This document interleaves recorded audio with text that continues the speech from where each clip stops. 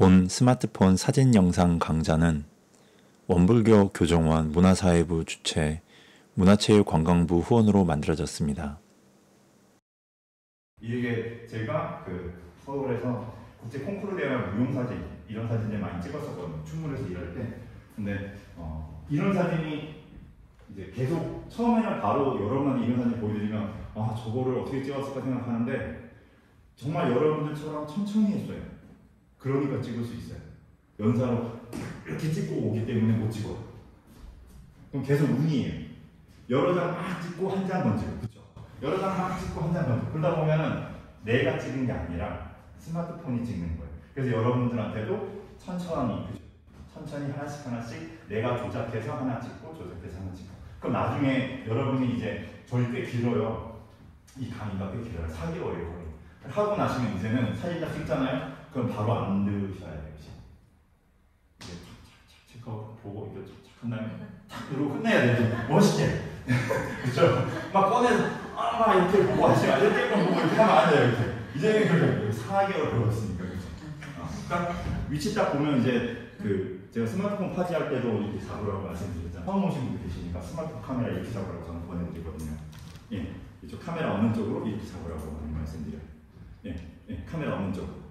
그래서 항상 왼손이 내가 들으면 여기서 찍는다 생각할 위치가 있어요. 그 위치에서 찍는 거예요. 예.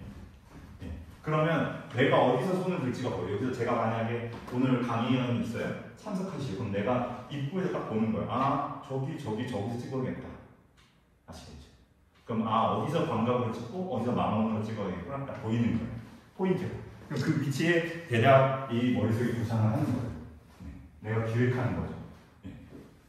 네. 어려울 것 같은데 하실 수 있어요. 이게 내가 주도성을 가지고 주도, 이게 주도성을 가지고 영상을 작업을 안 하셔서 어려운 거예요. 근데 조금씩 이렇게 기준을 보시면 이해가 되실 거예요. 그리고 다음 시간에 이제 저희가 박스 찍기를 할 거예요. 달력이라든지 이런 거 찍기, 사각형으로 찍기.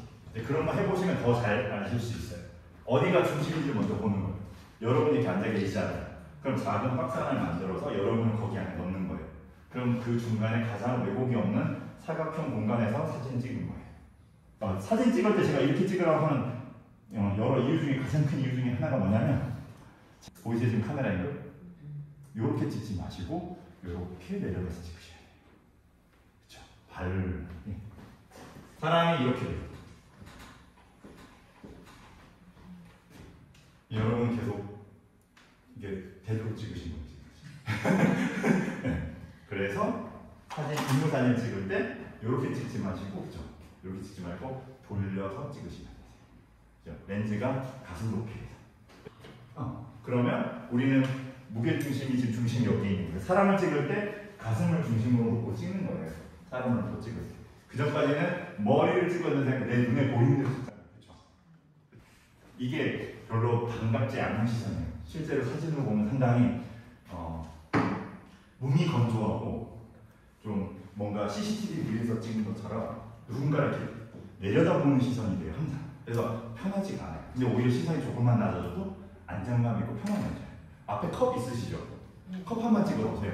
컵을 예, 이렇게 찍을 때랑 위에서 이렇게 들고 찍을 때랑 약간 밑에서 이렇게 찍을 때랑 컵이 다른 느낌일 거예요. 훨씬 달라요.